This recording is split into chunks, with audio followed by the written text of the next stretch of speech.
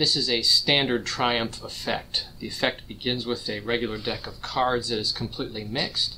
Uh, from that deck of cards, there is a process by which a card is selected by a spectator.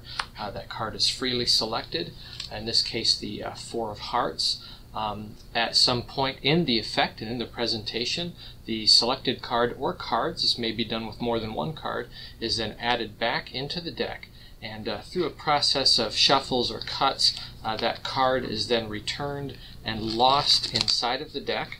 Uh, and then after there's been a good uh, shuffling of the cards done, uh, there is a point in the story or in the pattern uh, that lends the magician to take half of the deck and turn it to the opposite direction.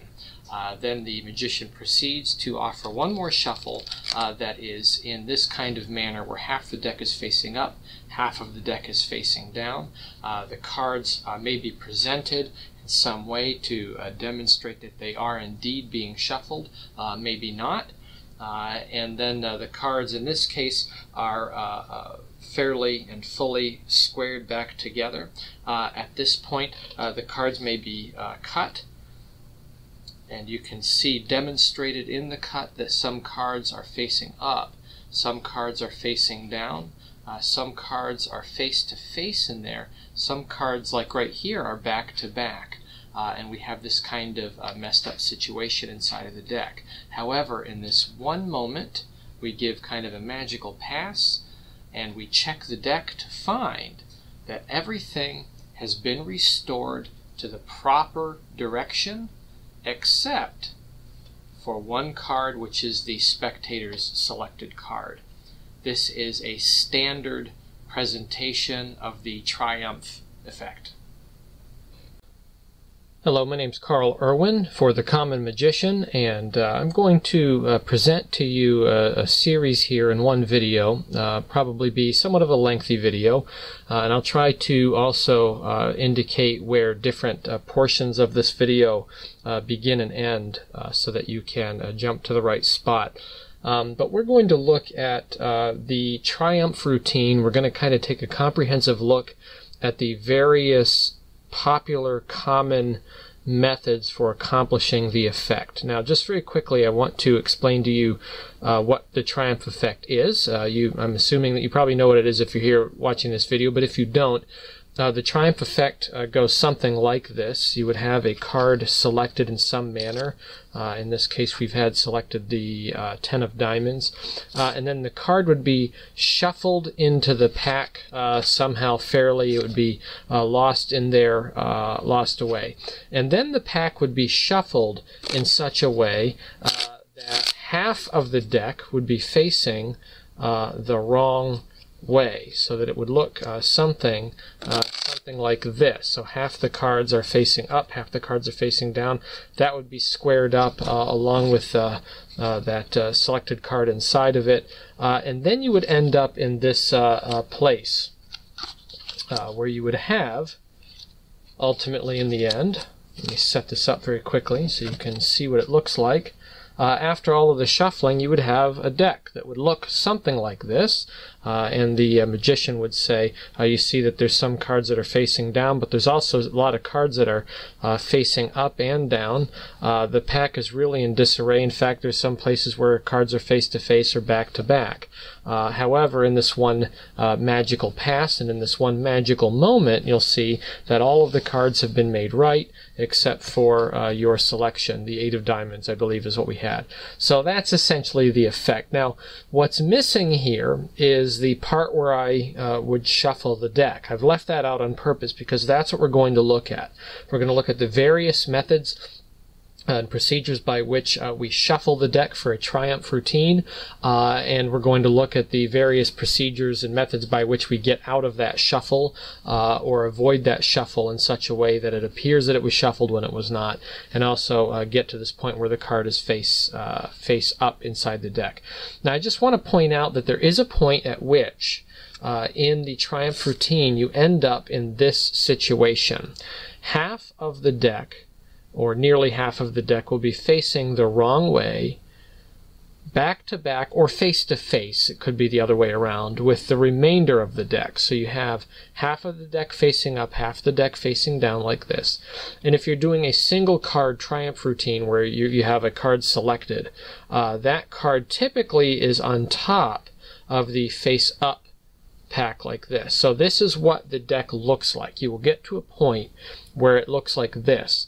Very few triumph routines do not have this moment in it. Um, I really can't think of one, quite frankly, off the top of my head that doesn't have this moment in it.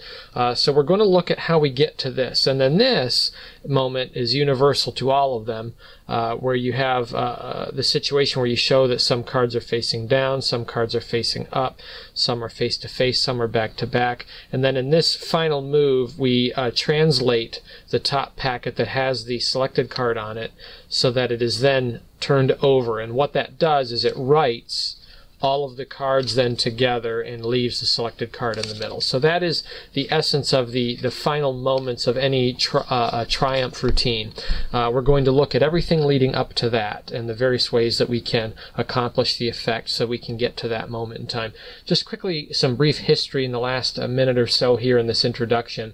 Uh, the effect of triumph was first published according to Genii Magazine uh, in their wiki uh, entry on this in 1946 by Dai Vernon. He published the effect under the name Triumph, uh, although uh, that effect had existed before then, uh, as far back perhaps as around 1914, uh, maybe even earlier than that, the early 1900s.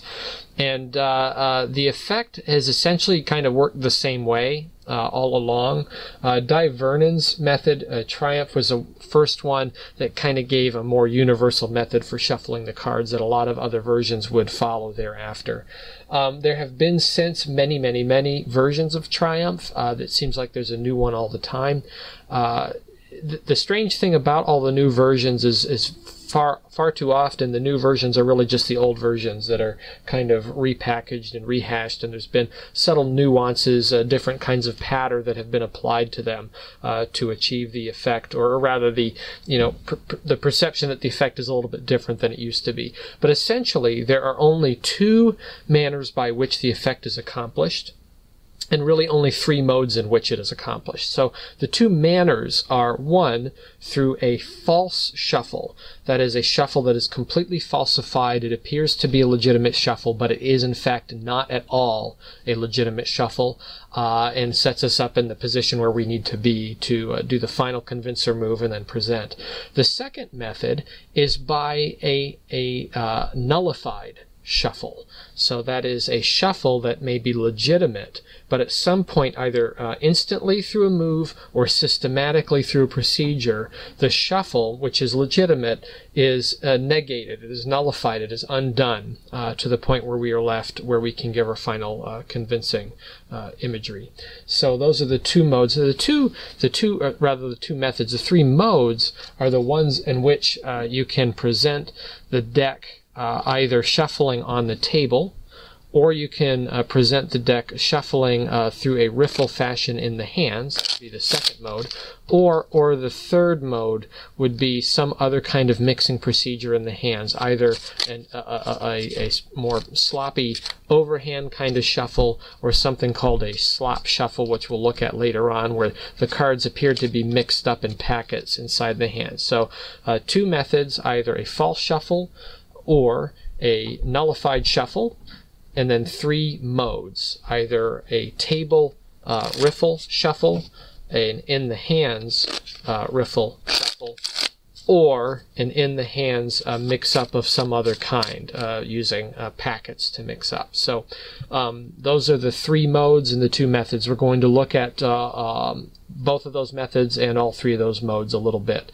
Uh, this is by no in no way uh, an exhaustive look, but it is pretty comprehensive. We're going to cover a lot of different ways that I can think of that I know that this routine can be picked up. I might give you a few of my own ways that uh, are not really done by anybody, just by me, uh, and I'll give you also a few pointers. I will also try to include a number of links uh, in this video uh, to other tutorials that are more in depth uh, concerning some of these methods, uh, some of these shuffling uh, methods that you'll see here. So I'm not going to get into any great detail. I'll give a few pointers, uh, but I'll try to point you towards some better, more in-depth tutorials to help you learn a little bit more about each one of these methods that we look at. So let's take a look at the first method uh, which will be some on the table riffle shuffles.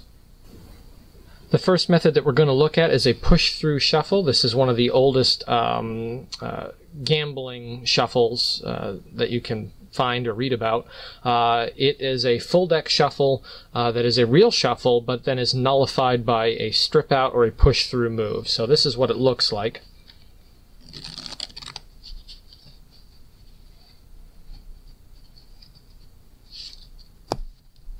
And then that would be the whole shuffle. Uh, if you look at it, we have everything in full deck order. We've got aces, uh, hearts, clubs, and diamonds. Everything's in order. Now, that's not that impressive because you're looking at the performer view, and then if you look up here, you can see the spectator view. So you can sort of see what I'm doing.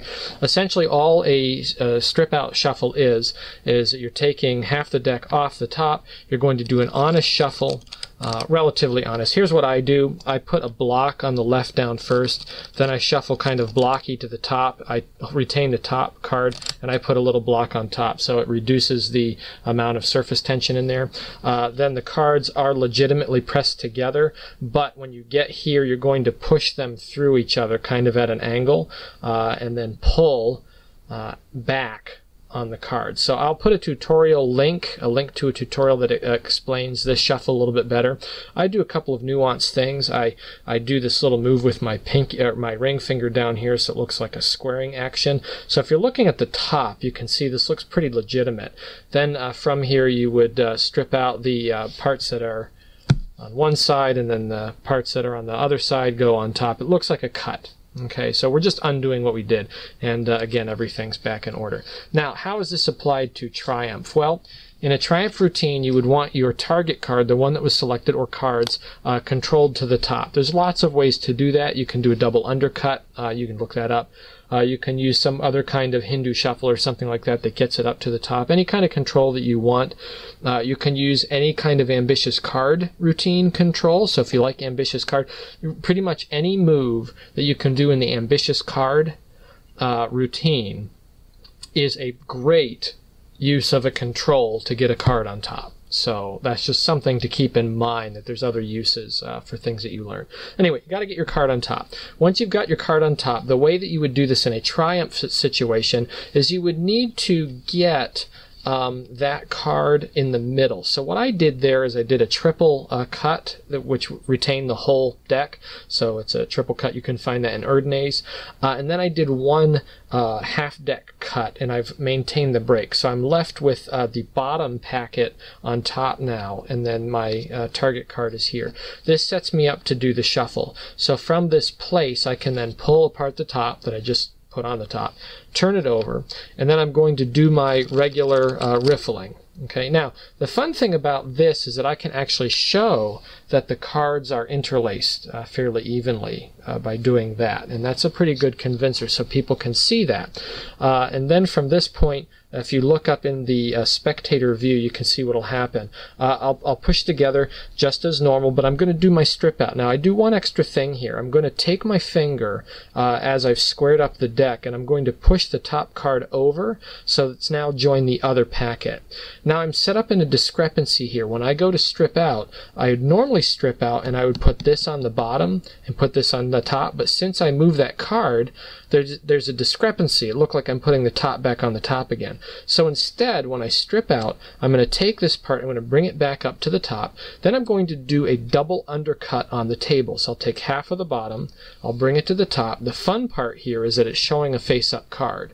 And then I'm going to bring the uh, actual top back to the top again. Now look where it's left me. I have my target card on top of half of a deck of face-up cards, on top of half of a deck of face down cards. So I'm I'm where I need to be. I can now finish out my routine. I've got some cards facing up, some cards facing down, uh, some cards are face to face, some cards are back to back. Uh, but in this one moment, in this magical pass, in this magical moment, you can see everything has been made right, and your card is facing up, yada yada. So uh, that's how it's done. Uh, you can use a push through or a strip out um, gambling false shuffle or nullified shuffle uh, in a triumph routine.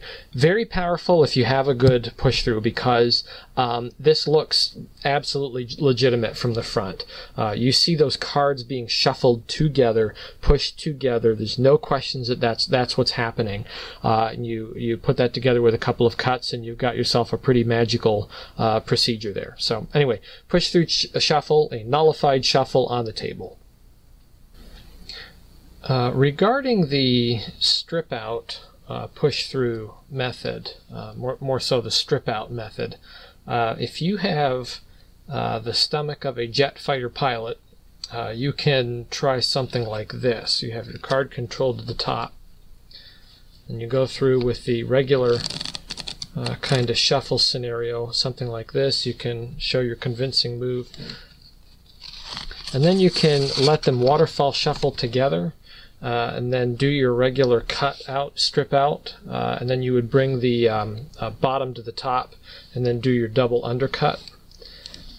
And that's put you essentially in the same position where you can show your cards facing up, cards facing down, uh, face to face, back to back, and then uh, get yourself squared up again where your your target card is facing down. Now what's happening here and again, like I said, you have to have you have to have guts to do this. Um, what's happening here is you're going to do a convincing move with this little waterfall finish. So if we split out the uh, cards again, take the bottom out, uh, interlace them together as normal, uh, and then show it that they're interlaced. What we do is we turn them sideways and we're going to do the typical waterfall, but we're going to do it sideways on the table.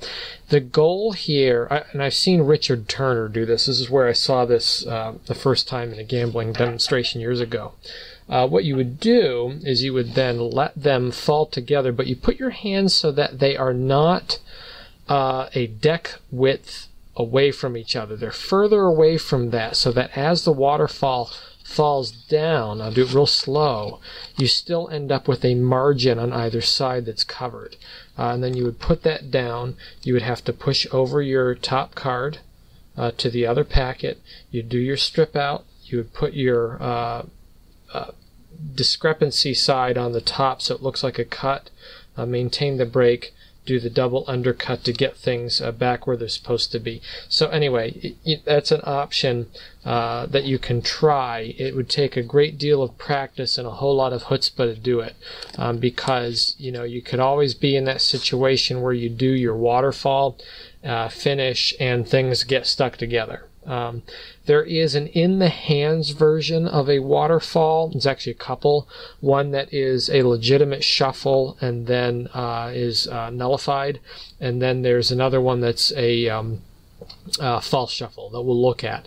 Uh, two other versions that are much better and a little bit. Um, uh, not not quite as risky as this, but anyway, it is an option. You can do that. Uh, that is a way to do a strip out shuffle that uh, doesn't involve a push through.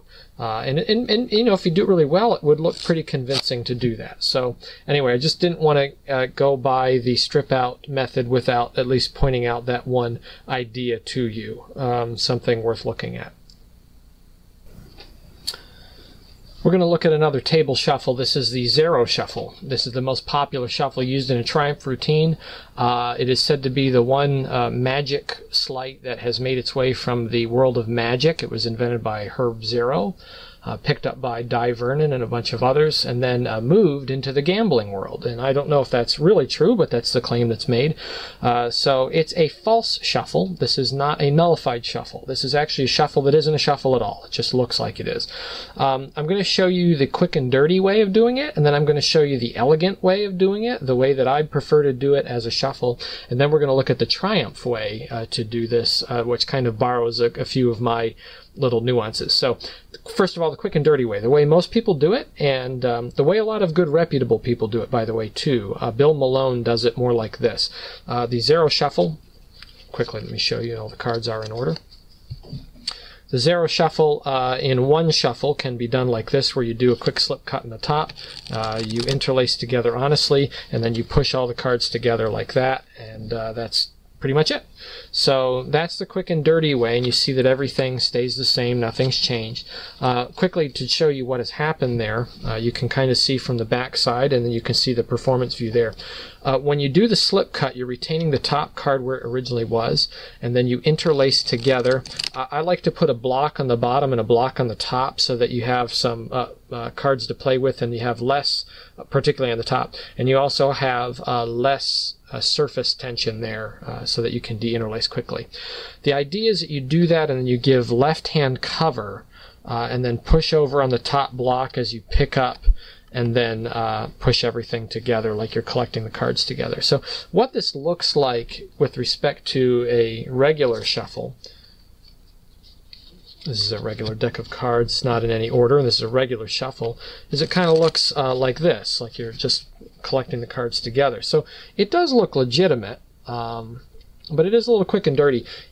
Now, I have a problem with it. Here, here's what it is. If I want to do a shuffle, uh, a real shuffle, it would look something like this. I would put them together, and then I would push the parts together. That's what it would look like. Okay? So we want it to look, in my opinion, you want it to look more like that. You're trying to get that kind of a look. So there's a way to do that. So quick uh, on our short tutorial on the Zarrow shuffle before we apply it to Triumph. Again, everything's full deck order here, I think. Yep. Um, I do a couple of shuffles and a cut so it looks a little bit more legitimate. And actually, Herb Zarrow teaches this. Um, uh, now, I'm going to do a little bit more of a, a thing that I do myself.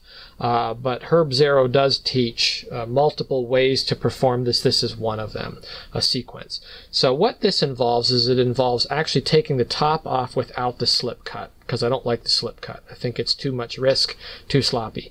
Then we're going to interlace as before, retain the top card on the left. And then instead of covering, what we're going to do is I'm going to take the top packet of cards and push them out and forward, and I'm going to push forward the top card on the left. Now, what it does is, from my view, you can see every, all the dirty work, but from the spectator's view, there's a whole bunch of cover from these cards on the front. So now I can deinterlace directly in front of the spectator, get my fingers out in front, and I've got a lot of cover to push it back together. Now it leaves me in a spot where I have um, translated my bottom to the top and the top to the bottom, and I've displaced one card from the middle. So what I have to do is I have to do this again where I pull out the bottom to the right, I'm going to follow through on the same pattern again, retain the top card. I'm going to push forward on these cards so that I get some cover, deinterlace, bring it all together. Now on this I want to maintain my break one more time because now I'm in a place where I've got my bottom, my original bottom is on top and my original top is on bottom. So which means I need to do one cut which is something that you would do anyway. And if I cut the deck, now I'm actually back into full deck order. So that's how I do a uh, Zarrow shuffle. So more at speed, it looks something kind of like this.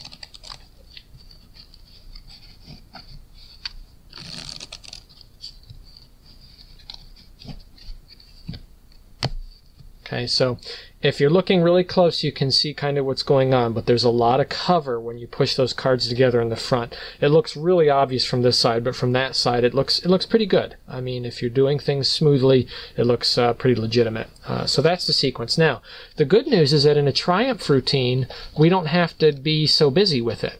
Um, we can actually do this fairly simply.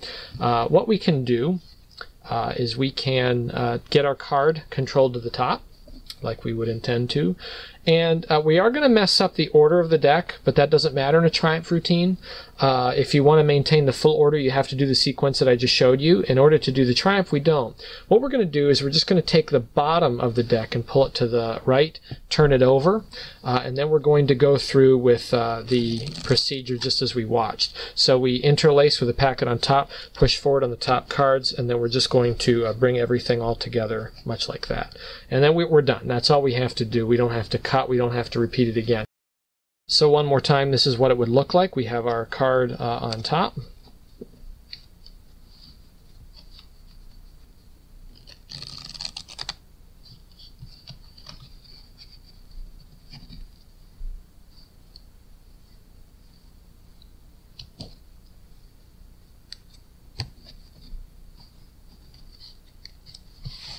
There's our card.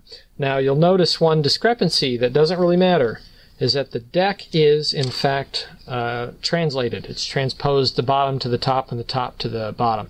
That doesn't matter in Triumph. Um, the only reason why this uh, would matter is if you were trying to maintain the full deck order, you would have to follow that procedure that I went over earlier. But anyway, that's the uh, Zarrow Shuffle application um, to a Triumph routine and the way I like to do it with a little bit of cover there. The next method I'm going to show you has become widely popular lately. Um, it's really powerful. It's also extremely difficult to do. Uh, it is a Hofzinser spread cull uh, move in which you are culling half of the deck. And essentially, what the idea is is that I, I've got the deck really shuffled so that some cards are facing up, some cards are facing down. The spectator has selected their card, it's out there. And what you're going to do is you're going to demonstrate uh, uh, showing them that all of the cards are facing different directions. And as you're doing this, you ask them to just uh, insert the card. Now, I'm going to fumble a little bit with this because I'm doing both jobs at the same time, but you say, you know, you can put it in face up or face down, it doesn't really matter. So let's say the spectator puts it in face down. And what I'm doing is I'm actually um, undoing the shuffle I'm uh, uh, employing a, a, spread cull underneath the uh, deck here to take all of the cards that are face down and then separate them to the back of the deck while I'm keeping all the other cards that are face up in the front. And what I did is I took the spectator's card, which was face down, and I put it into the pack that is face up. Now, this leaves me in one situation where I've got a, a, a, small packet of cards facing the wrong direction on top. All I have to do is when I demonstrate that the deck is messed up, is I can say I've got places where cards are face up, I've got places where cards are face down. Uh, you can see these different locations in the deck. There's even some places where cards are face to face and some places where cards are back to back. And then you do your transposition there. Now when I show uh, the deck, I'll find that um, in that transposition that I've got my selection in there. Now, I'm not going to get into this very deeply, okay? Um, it takes a lot of practice to get to a point where you're doing this kind. It's not even my favorite version. We're going to get to my favorite version of Triumph um, because it requires a whole lot of time, really, right in front of the spectator. Even when Kostya Kimlat does it, it requires a lot of time. But I will show you the basic premise um, because the basic premise of this is not really Kostya Kimlat's. It's just what he's doing with it is his own. Okay, the basic premise is that it's a Hofzinser spread cull, and here's how a Hofzinser spread cull works. Uh, we have a specific card in the deck, and I would be showing the deck to be completely mixed up, and as I'm showing that the deck is completely mixed up, uh, I'm, I'm doing some dirty work in there. I've actually taken the card that I want and I've moved it out to the top of the deck. Now the way this works uh, is if you look in the mirror way down here at the bottom, uh, as I get to uh, that card that I want, uh, what I'm going to do, if you look in the mirror, you can see it right there, I'm going to push that card in behind the card that's above it, which is the four of clubs, and I'm going to take with my fingers in the back and pull it out. So then I can insert all of the other cards. You can see that up in the mirror. I can insert all of the other cards on top of that all you're doing in a spread cull is you're partitioning off a certain card or certain type of card to the right underneath and putting the rest in on top. So if I were to employ this say for reds and blacks, uh, I would keep my reds on the top. I have a black card here and then I'm going to cull out the red card and then I'm just going to continue to cull red cards uh, out underneath the blacks so that I'm pushing the blacks on top I'm putting the reds on the bottom, uh, and so on. And you can see uh, what, what, what this is doing for me is I have a section of reds here, I've got my blacks here. If I were to continue doing this all the way through, I would end up with, um, with reds and blacks separated out. So that is the spread cull, or the Hofzinser spread cull um, application as it pertains to Triumph. Um, once you get down to that end, you're in a place where you can do your uh, reversal move once you have that uh, and get everything where it needs to be. So uh, that's all I'm going to say about that. It's a really, really great method uh, that takes a whole lot of guts. So have fun with that if it's something you're interested in. Uh, we'll move on. I'll show you a few other things that might be a little bit more accessible, uh, not only to you, but quite frankly also to me, uh, and yet to get to my favorite one uh, coming up.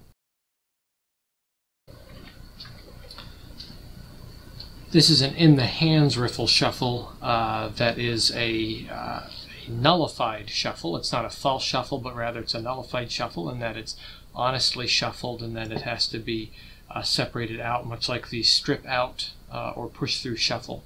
Uh, looks something like this. We would need to get our uh, target card controlled to the top, as as has been the case, uh, and then we would do a slip cut when we uh, cut the deck. So as I riffle off the bottom part to cut it, I would normally riffle off and then cut a part to shuffle. But instead, we're going to riffle off the bottom, place the top, uh, the uh, thumb for the left hand on, on the top card so that I can slip cut out my target card. And then I would turn over my uh, other pack. I would honestly shuffle them together. Uh, and I would re retain the last card, which is the target card on the left hand, put the last block on top. And then whenever I go to shuffle, I'm going to give the shop I'm going to give the hands a little bit of a twist. So I'm going to twist my right hand forward, twist my left hand backward a little bit, and as I let them fall, the waterfall finish together from this angle, you probably can't see it very well, but if I turn in, you'll see the cards separate pretty starkly there. Now I'm left with one issue when I go to strip these out. I need to get, just like in the um, push through version, I need to get my target card over to the other pack. So I need to push down to switch sides as I bring it up I reach over with my thumb, I grab uh, the uh, face up cards over here, and then I grab with my thumb here on the face down cards, and I swivel as if I'm swivel cutting the cards out into the hand. I drop the other pack on top, and then I'm left in my situation where I've got, uh, I can do my, my show of cards face up, cards face down, cards face to face and back to back. I've got my target card here. I um, trans translate the top pack, and then I'm left in my scenario where I've got one card facing up and it's the target card. And I have one more uh, in the hands false riffle shuffle. This is not a nullified one, but it's actually a false riffle shuffle uh, that I prefer to do if I'm ever going to do an in the hands false shuffle, uh, one that retains the deck. This is the one that I do. Um, in the case of doing Triumph, performing Triumph, we don't need to retain the deck in its uh, full deck order. We just need to get things uh, translated back so all the cards are facing the right direction. Um, but it, this one is called the uh, Heinstein Shuffle. Uh, it uh, was created by Karl Hein, and um, it's a pretty pretty novel way that he has to apply a very old idea and the old idea is merely the Zarrow shuffle. So we already looked at that, which was an on the table false shuffle, uh, where we have some cover cards on the top or a cover card on the top, and we're just putting the top back on the top and the bottom back on the bottom. Uh, this is the same idea, but it's done in the hands and it's done on the waterfall finish. So um, uh, I do it uh, much like this. Uh, we would have our target card on the top. Just like on the other false shuffle, we're going to um, split off the bottom from the top and we're going to do a slip cut so that we have our uh, target card going to the left hand. We'll turn the deck over on this side, and then we're going to uh, interlace them kind of in a funny way. It's more natural to interlace them with the front corners facing down. In the Heinstein shuffle, you, it, you want to interlace them with the uh, inside corners showing. And you're going to retain that top target card for last, so you need to watch your angles here. You don't want people to see that card when you interlace. Once you're here, you're going to bring the cards. Uh, what I do is I kind of turn them to the left so they're not looking head on at this uh, picture. But when you go to do the waterfall, we're going to push forward on the top card, which is the um, cover card. Uh, the target card is now the cover card.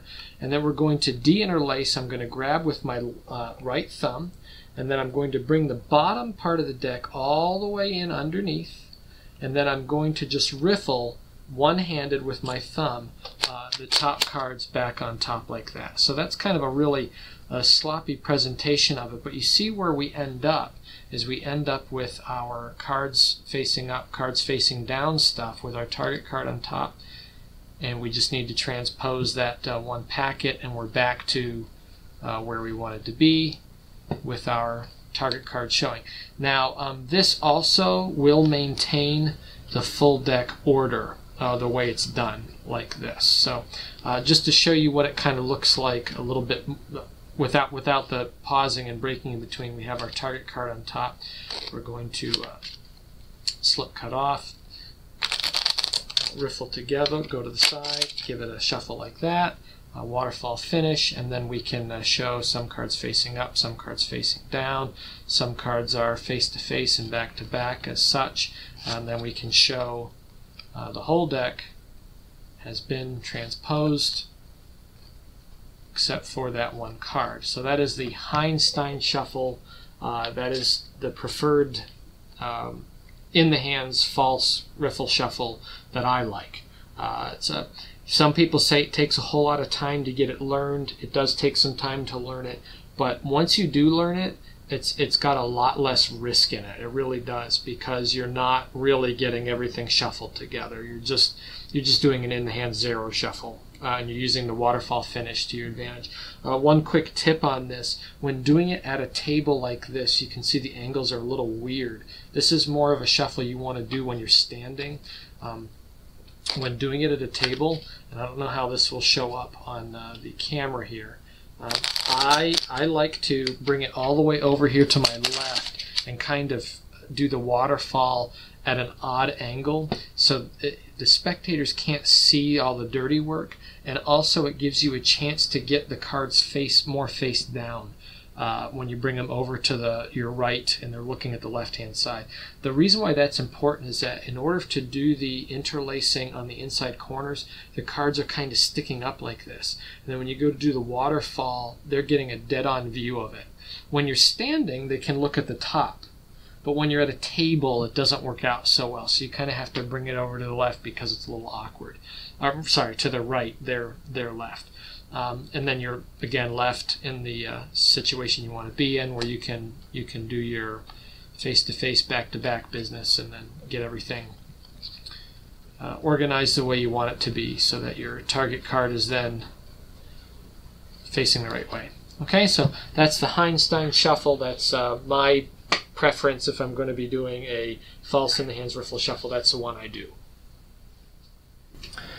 Okay, this is my favorite one. Okay, it's also the easiest one to do, but it looks really, really good. Uh, it is a false shuffle. It is not a nullified shuffle. It is also the uh, most elementary one. So when I mention the name of this, some of you are going to make a big mistake and you're just going to turn this off uh, because you've heard of this before and you're aware of it. It's called a slop shuffle.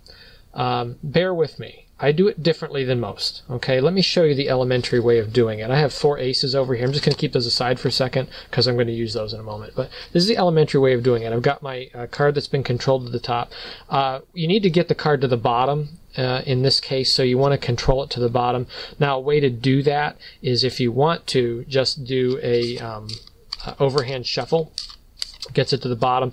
By doing that, it also gives the impression that you are going to be mixing up cards in the hand. You can even say, you know, some people like to mix up cards like this. And then the old patter goes, you know, and if you give it to a, you know, like a drunk guy, right, they might, uh, you know, do it like this. And, and if you know a slop shuffle, what I'm doing is I'm taking off little groups of cards and I'm just flipping back and forth. Now, if you look at this for any amount of time, you'll know what's happening. I'm really just putting half the cards up and half the cards down. Now when I get to the very end, I have my last card, I put that one on top, and I can just kind of quickly show this, like it looks like it's mixed, but it doesn't really, okay? and then I'm left in my situation where I can do my face-to-face, back-to-back shtick, uh, do my transposition, and then I'm left, um, as usual, with my card facing the wrong way. That's the elementary way. Let me show you the cool way.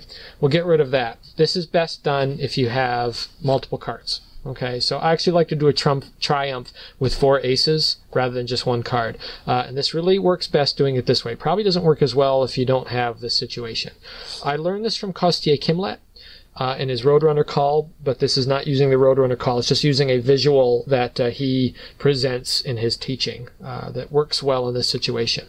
What we're going to do is we're going to fan out the deck, but I'm going to fan, when I fan, I'm only going to fan uh, the bottom half to the bottom third. Okay, the top half to the top uh, two thirds is going to be uh, blocked up here in the top. I'm going to take the first ace, I'm going to put it in facing the wrong direction, only a few cards in. Then I'm going to go only a few cards up from there and put in the next ace, but I'm going to move it over. So the idea is that as I put these in, they're only a few cards away from each other, but they look as though they're spread out in the deck. Okay, briefly. If you look at this too long, it doesn't look legitimate, but that's that's what's actually there. They're really close. Then I'm going to close up the fan. I've got half of the deck to work with, and then I've got these cards just a few cards away from each other in the bottom. I start my slop shuffle like this. Okay, so this is the same old thing. Now you want to move kind of quick and brisk. You don't want people to stare at this. Now what I do is when I get to my first ace, I push it in. Then I want to turn it over and get the next one in a group of cards. Then the next one, group of cards, and the next one, a group of cards. And then I can finish this off like this. And when I get to the last couple, two or three, I put them on top as a cover. Now look at this situation. Look at this picture. I've got cards facing down. I've got cards facing up. I've got cards facing down. I've got cards facing up. I've got cards facing down. I've got cards facing up. I've got cards facing down. This looks like it's legitimate. If I turn it over, I see the same kind of thing. So I can show this a little bit more authentically because I have cards in there. These aces are in there and they actually are facing the wrong way. Okay, so this looks pretty good. Now what I need to do is I just show that I've got some cards facing up, some cards facing down. I'm going to peel off the top few, put them on the bottom, then I'm going to square up the deck, and then I'm going to go on as normal. I can break to the middle, show that I have them back to back, do my transposition, and now look at where this leaves me. I now have uh, all cards facing the right way except for my uh, four aces. And as I thumb through, there'll be kind of a big block in the middle if you do this the right way. So you just push through those a little bit more quickly. This is better to show in the hands rather than on the table because you do see a discrepancy of about uh, two thirds of the deck in the middle without any cards in it. But anyway, that's it right there. That's my version of the slop shuffle uh, that you can apply using multiple cards, uh, and it looks really good. And it looks like things happen instantly. It looks like everything is fixed right away. So slop shuffle. Uh, just real quick too, the slop shuffle can be done by uh, dumping the cards out on the deck and then picking them up and doing the same organization. So lots of applications for that. Slop shuffle, good way to go. These are some examples of uh, controls that can be used to acquire the spectator's chosen card and place it on the top. Uh, that is a prerequisite that you need in uh, completing the triumph effect, um, except for maybe a couple of cases where the shuffle might require you to have the card uh, controlled to the bottom. Uh, in which case you can simply uh, perform an overhand shuffle uh, where you take off the top card and then move it to the bottom of the pack. So uh, let's quickly go over just some of these examples uh, where you can um, uh, control the card to the top of the deck. Um, probably one of the easiest ones, uh, one of the easiest examples is the Hindu shuffle control. Uh, there's a few ways to do this, but let's say we have the spectator's uh, chosen card. in order to get it mixed into the deck, we would set it on top of the deck, and I'll leave it face up so you can see it. Uh, and then we would proceed to Hindu shuffle, which is a uh, over the hand sort of shuffle into the hand. Only on the first pass, when we drop the first packet in, we either would take the whole packet back underneath in a break, or just the top few cards, um, and then uh, we would continue to shuffle off until we arrive at that uh, spot. So it's it's a version of the overhand shuffle that's just performed lengthwise. Uh, and it would look something like this. We'd drop it off, and then we'd drop off another pack, and another pack, and another pack until we get back up to the top again. So um, it would appear it would appear in motion as if we have uh, actually lost that original card into the deck somewhere, when in fact it is it is still on top. Um, that is one control. Another control that you might use to acquire the spectator's card on top uh, might be just an overhand shuffle. So you would uh, take their card, you would have it selected, have it on top, flip it over, and then proceed to overhand shuffle. But you start with an in jog uh, and then shuffle off on top of that.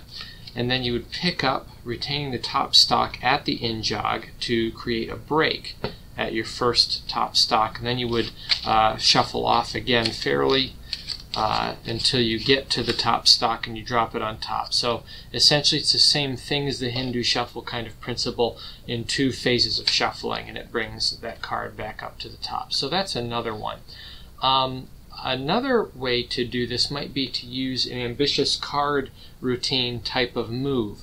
Um, for example, I may have a, a selected card uh, chosen, it's sitting on the top, and then I can cut off, swivel cut, flip it over, uh, and do a push out. And then what I'm doing is I'm going to uh, substitute off a card on top of that from the bottom of the deck. So I've maintained a break underneath it. I substitute that card off as I'm showing it. When I slide it in, I've actually set it, their card, to be second from the top, which is a place you want to be in ambitious card routines. Then I can take that top card and do whatever I want with it. I could cut it in uh, to the second packet, uh, cut that whole section into the other side. It, it, looks like a very complex way of getting a card into the middle, but really what I've done is I've maintained my card on top. So if you kind of slow that down, you can see the mechanics of what's going on there. So that, that's just uh, one way to demonstrate that really any ambitious card routine move uh, that would seemingly take a top card and then place it into the middle of the deck is a good way to control a card because it seems like you're losing something in the middle when you're actually maintaining it up here.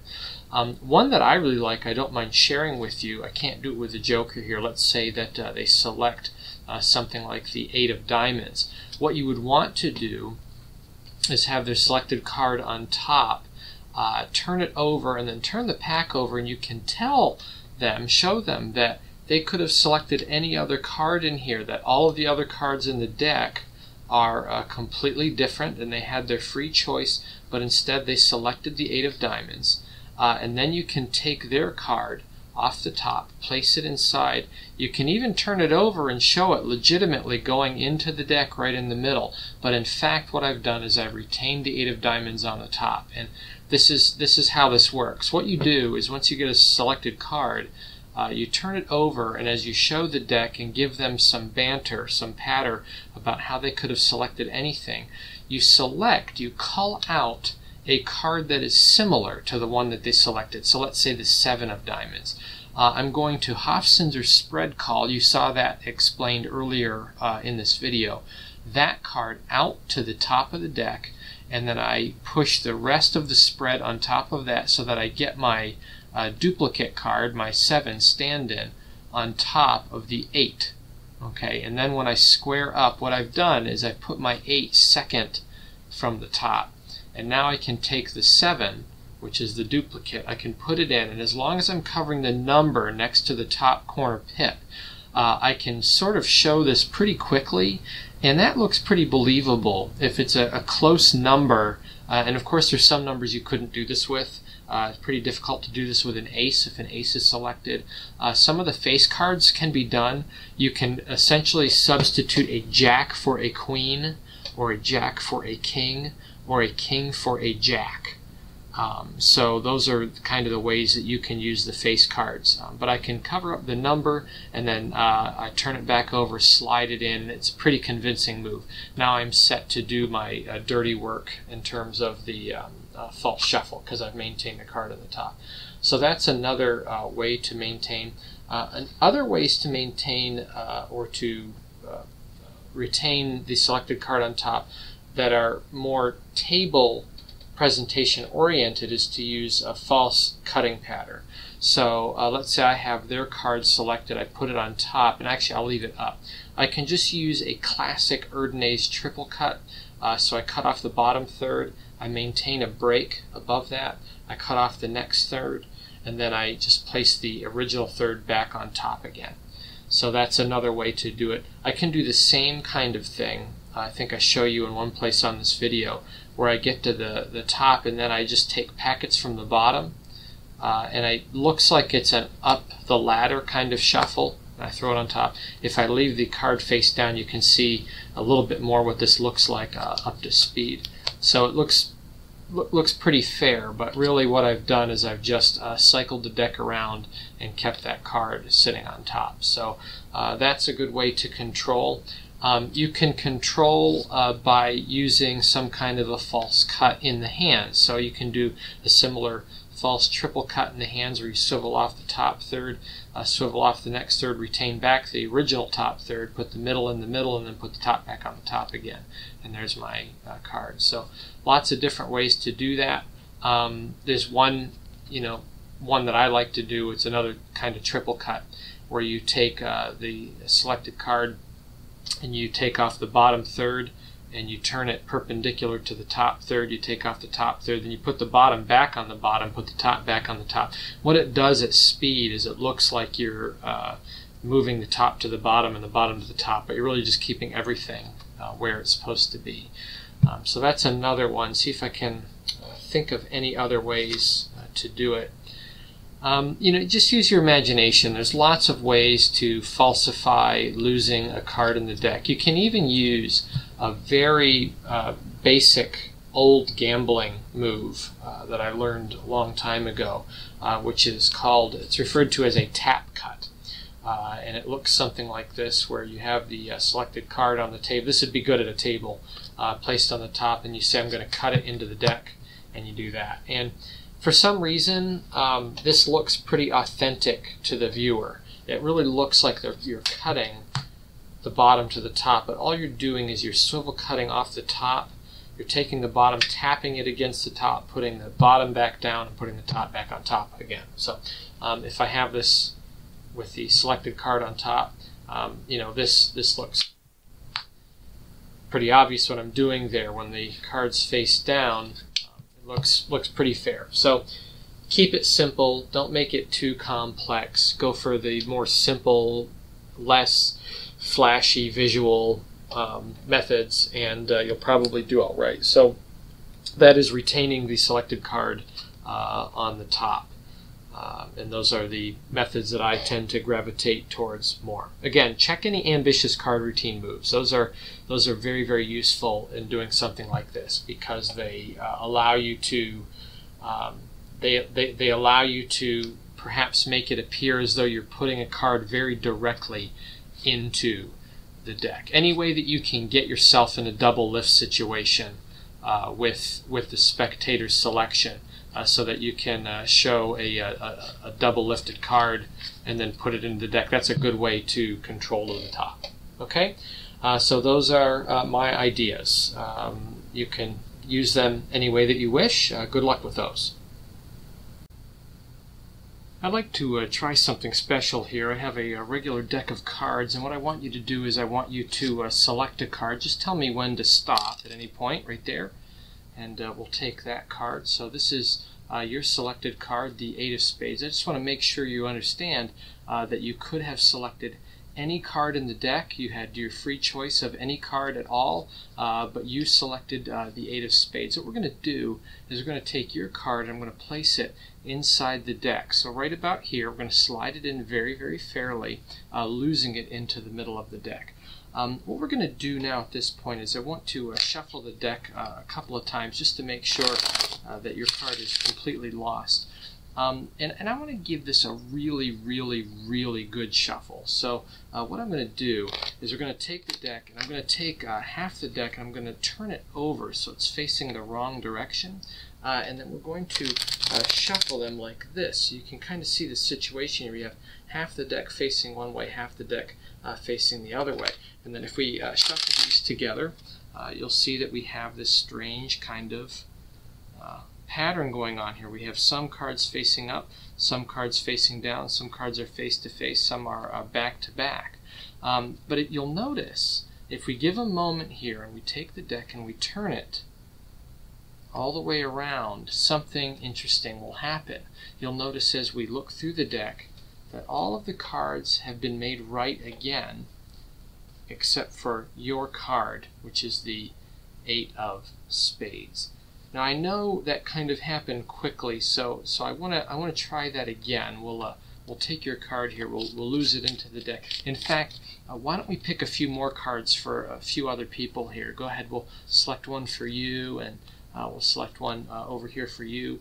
And uh, you, sir, you can get one, and uh, why not one over here for you?